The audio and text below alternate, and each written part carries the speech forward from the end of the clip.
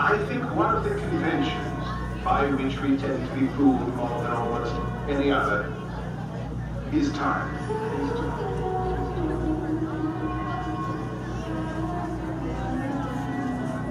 The present for most of us, isn't it? Just a hairline on a dial.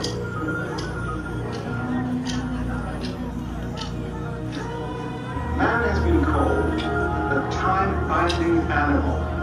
A creature who is vividly aware that his life moves along a line from the past through the present and into the future.